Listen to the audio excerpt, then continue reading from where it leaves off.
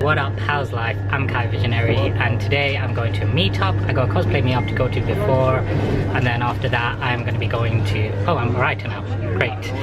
Um, then I'm going to be going to an LSY meetup and I ran into one of my friends on this train, which is weird. so uh, I met her like back in college and it was weird that we had this coincidental meetup. Like, I was just going to my boyfriend's house. and I was like, what are you doing here? So yay, fun little coincidences description. So awkward. Don't worry, I'm an awkward ass bitch. I'm an artist, I'm, I'm just forever awkward. Awkward artist. Such art, such awkwardness. Oh. Hey! Say hi. No one here, hello! I'm with my bike and I still got this. Oh, big Well, you're here. looks so good! Well, Sorry, that looks good. hi. Tell them who you are. I'm so happy. Tell them who you are. I'm Katie, I'm the host. I'm awesome. Trust me, she is. She does some awesome cosplay. Yeah, well, Yeah,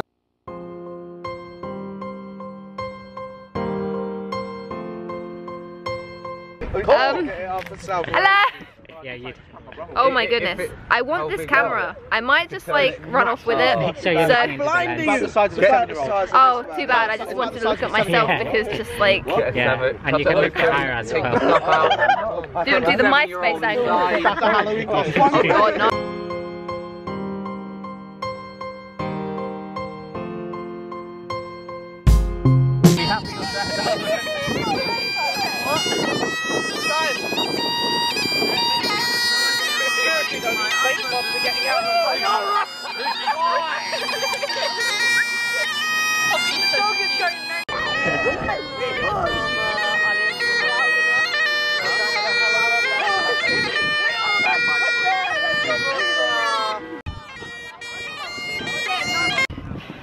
So hey guys, so um, recorded kind of bits of it. It was fun. Um, hopefully gonna come back to this meetup, but right now I'm on my way to the LSY meetup, which is happening at the Collective. So that's gonna be really cool. Um, hopefully meet some new YouTubers. And I may not stay the entire time. I may leave a bit more earlier to come back here, but really looking forward to it.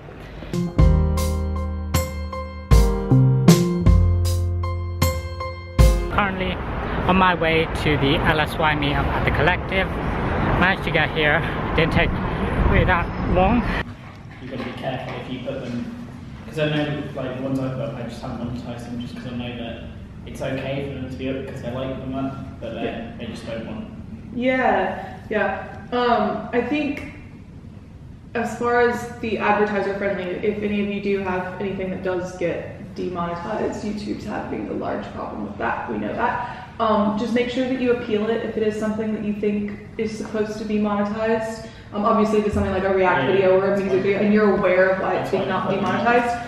Um, something like that that's kind of gray area that is educational and it's But kind of it's just- yeah, I mean again it, it kind of if it's something that's in that gray area that you're like somebody needs to actually look at this is it the YouTube algorithm that's seen keywords and maybe that's why it's been placed there um, does it actually belong? Um, be aware that you like 100% it does not hurt you or hurt your channel to appeal it and have somebody because an actual person at YouTube will then watch the video and determine whether it is. And, and at that point, they will actually tell you. So they'll send you an email and say like, this is exactly why it's supposed to be demonetized. Um, so that way you have it for the future. Yeah. Um, I'm kind of curious for you guys because you as well do covers of songs or react things.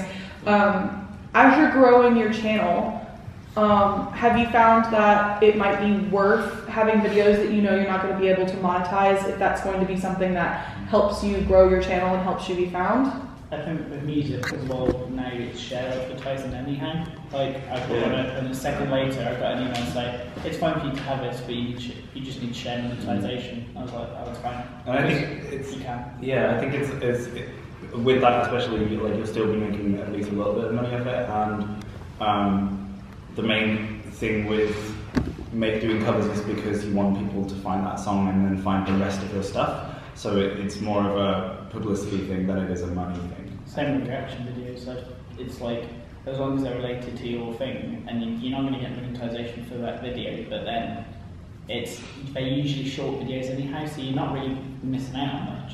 And mm. then they'll click on the next one. It's, it's the best way to get them into your channel. Yeah, um, where a lot of creators were finding that if you go into restricted mode on um, YouTube, so basically what restricted mode is, is it's for parents who don't want their kids to be, be seeing bad content. Um, they can turn restricted mode on to their accounts so that their kids can't see bad things.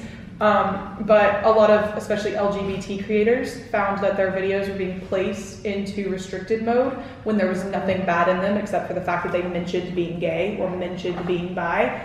Um, and so there was kind of this really big backlash about it. Um, YouTube did eventually, like, it took them a good 48 hours, but they did eventually own up to it and say, yes, this is a problem and we're going to fix it. Um, but they've been very, they've not been very transparent about how they're going to fix it, and I think that's because they don't know how they're going to fix it. Um, uh, Was yeah. there a specific video that was like that they noticed went off, or like was it Um, triggered by a certain video? No, not necessarily. I, I think I think the first thing that I saw was there was a YouTuber that one of their fans went and did it and noticed that like a bunch of their videos disappeared.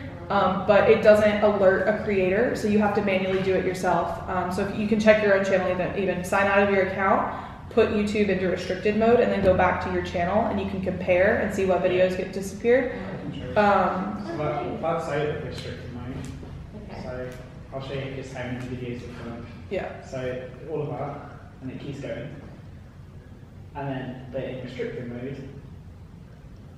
That's it. Oh wow, wait, whose channel is this? Mine. That's your- So okay. yeah, it goes from like Oh all of wow. those to Holy just crap. that. And the thing is as well, like my channel's like no swearing, no anything that goes. Has anyone else On checked mine. it or noticed I've anyone? noticed that quite a few videos of mine disappeared. No swearing, nothing. Uh, the LGBT event, uh, YouTube space, that was gone. A bunch of mental health videos have been. Yeah, Yeah, my yeah. mental health one went as well, my depression one went Yeah. as well. I think when it comes to that, um, and obviously anyone can give an opinion. Um, just, I think YouTube is going to take a while to figure it out. Oh, yeah. As of right now, um, there's no way to know unless you check, and there's no way to report it really. Um, hopefully, they'll get that out quite quickly, There's a- there's being able to report it. But um, It's going to be one of those ones that it'll be one they announce they've changed it, and you've Yeah. got to check channels and go the long way. There's a petition, uh, one of the YouTubers uh, put a petition uh, to, they'll actually, as many people sign it, they'll hand it to YouTube and they'll make sure it happens. Uh, I think uh, what happened on Twitter was, uh, okay, a lot of LGBT creators were really, really annoyed and angry about it, but there were like pe- other people who were blowing it out of proportion and um, it was like, guys, calm down. YouTube will get back to this. Yeah, I- I uh, mean, I- some of them YouTube YouTube party is over, and I was like, I mean, I don't, I don't want to belittle someone's anger. I I mean, obviously, I understand like this is people's livelihood, and I mean, I think most of us here also are hoping to make you know something in the media sector a part of our long-term plan. Um, so like, I understand people's anger and upset, um, and this isn't the first time, obviously, that YouTube hasn't been transparent. Um, I think the main thing though is like don't let it scare you. I mean, remember that only 1.5% of the entire population of YouTube uses this function. Um, and even then, to be honest, it's probably not the people watching your videos. Um, so, you know, I, I don't think it's something that really you should be freaking out about right now. Um, has anyone else like experienced any problems or issues or concerns about that?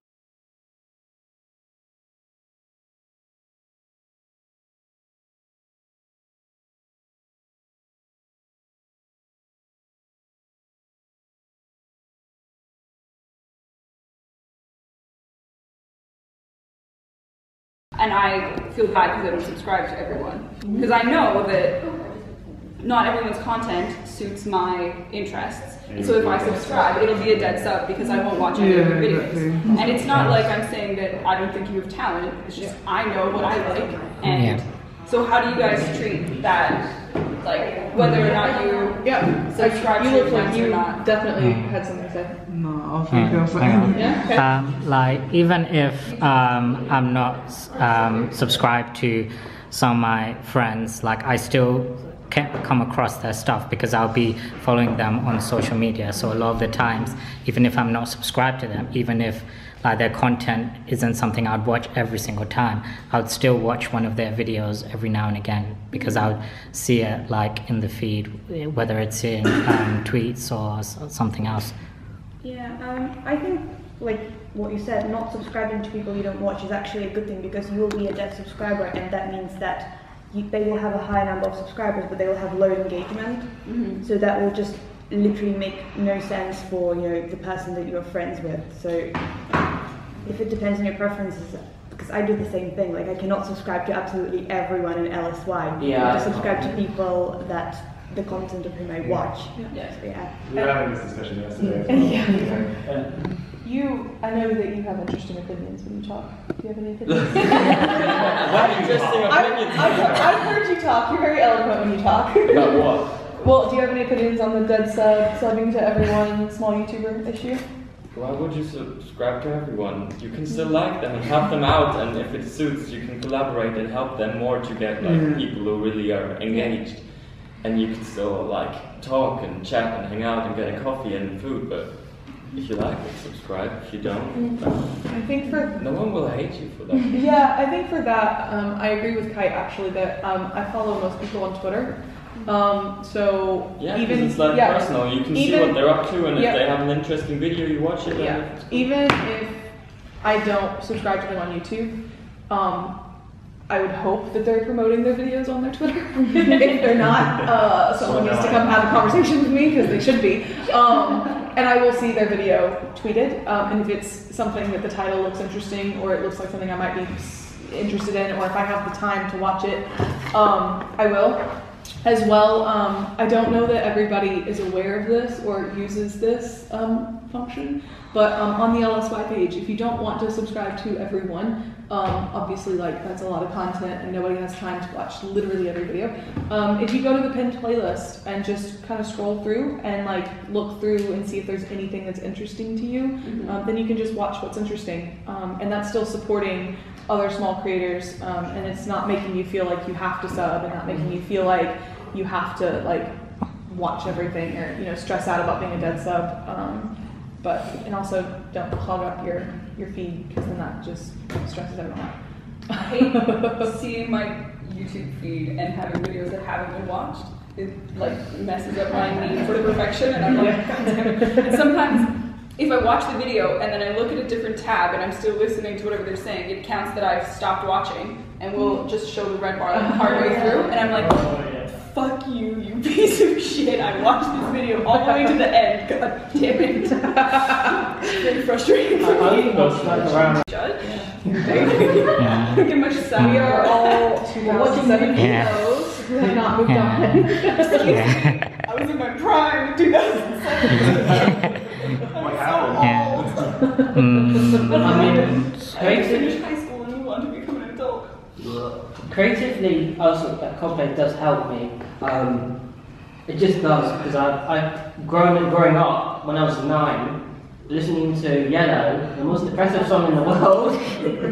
but it's a great song. It's about uh, uh, yeah, skin. It's yeah. Um, I know it by heart, but just don't. Um, being seen in live, working at Arsenal, and um, yes, I work at Arsenal. I'm a Man but um, yeah, I mean, what, what, do I normally do when I, like for example, uh, when in September, there, there was, since July, I didn't upload a video since July, I think, or August, and there was just no, hardly any videos on my channel, and I was only like 20, 20 plus subscribers at the time. But it was so weird that I just creativity just comes randomly for me. It even comes at three in the morning sometimes, and like Yeah, I mean, but I think I think that's the thing is that sometimes um, because creativity can be, you know, spur of the moment, you can't control it. Sometimes we have to control it somehow. I would Can't like to- control it. If you put yourself in different situations, for example, if I don't feel like writing a song at home, I freaking grab my guitar and go when it's beautiful weather in the park. Or, best thing to do, grab a friend and do a songwriting session, go in the studio, do something together. And like collaboration for brainstorming and like bouncing off ideas that gets uh, you somewhere so much quicker than just like trying to think on your own. And also like putting yourself out there in like in different situations. Just go somewhere, grab a coffee instead of sitting at home and trying to think of something and then something will pop up Yeah. and I, I would argue that creativity is less of something that comes at random and is more of a muscle that you have to exercise. Mm-hmm. Because if you do it more frequently, then you can continue doing it. There are moments where you can have spikes of creativity, and that's when you have your best moments, like moments of light bulb moments, where you're like, this is exactly what I needed. But Mm. you can still create without that. Yeah. It's just Yeah. a matter of the practice, and this is where you know, I have tons of advice, but no uh, follow through of my own. Um, actually, no, I've been working on lots of stuff. I just haven't been making videos. That's the, Yeah. issue. I, I made a schedule of, it keeps on changing, but since March, uh, not March, February, uh, in February I just like keep on changing my plans for videos and stuff, and like, no, I don't want to do that anymore because I don't feel it's, it's uh, like the top 10 things. I like, it, it's like, uh, you know what, I'm not going to follow Google Trends and I want to do my own thing, so three things I'm doing, which I want to do. YouTube is Anonymous, which came randomly during the meetup. Um, improv comedy sketch. People are interested and they want to do it. Probably will happen next week. Will will happen next week. I'll make sure of that. Uh, even if it's just a few of us, just need at least ten people just to come and just film it. Not easy. Yeah, there's a lot of people. improv sketch, that's a lot of people. Mm. Uh, probably could be five people. I I'm would just say Yeah. the, you're going to get the best out of an improv sketch with three or four people max Yeah. because too many people start talking over each other. And I Yeah. say this, Mhm. I worked in an improv company for a year back in Canada. So the more people you have on stage, the more that one person is going to steal the show from Yeah. everyone else, Yeah. and no one's going to have any fun. Okay. So you have to start small, build rapport with the group, and then do a So I sketch. think Yeah. I think the the sketch is just going to be a random. We're going to take as many. It's going to just happen.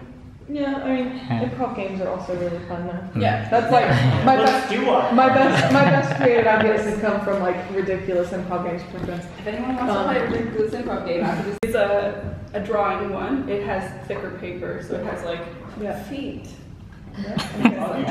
Practicing anatomy. Oh, fair enough. And this one is uh, Also, bye. blank, but it's cheaper paper, so it's just for like whatever notes. I've got like doodles of things and budgets and notes and notes from acting classes when I was still in university. Can I make a horrible joke? Guys, take a page out of her book. Pick one. Yeah. You're yeah? So yeah, um, had a, a fabulous little meet. Um, it was great just meeting everyone. Um, it was kind of nice that it was smaller than how normally LSY meetups work because not that I'm complaining that it's too big, but like some, but it is nice when there's just a few people because then we can talk about more. Whereas if there's a bigger group, it's like there's so many topics that it kind of gets a bit crazy. What am I going to do now? So I'm probably going to get something to eat and then after I've filled my belly, I'll probably head over to the meetup. I'll probably head over to Katie and the others. Hopefully they're still there. If not, I'll just enjoy taking pictures while I'm there. Then from there, home. So that's pretty much the plan for the rest of the day. Time to go. So hey guys, nice to meet you back here to Highbury and Islington and everyone's still here, which I was worried about. Pretty much. Yeah, look. Alan! Alan! Alan! Do you want to say anything? Alan! I found a hat! Steve! Welcome to Weeb Central. you can- right. Hi! I am beautiful and I am, uh, I see. see how beautiful I am. Soul is majestic and beautiful beyond belief. He's demonstrating and he's also flower power. flower crown. Flower power. Alan! And this is Nikki. Mickey! I said Mickey. I we do said need Nikki. So Yes. And look at all these magical weavy children. You have to, you can pull it down, you know. Oh, I do. look at all these beautiful weaves. Weebs, say ho! There's the musical weebs. The um, hipster weebs. Uh, you've got the emo weebs, and you've got the super weebs. okay, we got number one emo weeb right here. No, Emo man. Emo man. And you got our weeb lord, Luffy. Hello. And we have Callum. We have Morgan Freeman. Kill him! He has a, he has a ukulele! You got two people helping you with a ukulele! That's real! and you still fail! Stop fucking filming me! There's so many different types of cheeses. I could probably name a few. I could probably name a few. Like halloumi, brie, different types of jet. Get out! Oh, I don't know. I don't know. I mean, That's honey. I don't know. Fuck the shark! So this has already been fun. Took some, recorded some great stuff. Thanks for Katie for being a fabulous host. so had a lot of fun. Didn't record that much. Yeah, I'm a very bad vlogger. Sorry about that. I think you're good. You're good. Don't be so hard on yourself. But yeah, like had loads of fun. Looking forward to more meetups in the future. And make sure you're subscribed to my channel for all those stuff. Don't forget to give this video a big thumbs up if you guys enjoyed it. Leave all your comments down in the comment section below. That's it from me. So peace.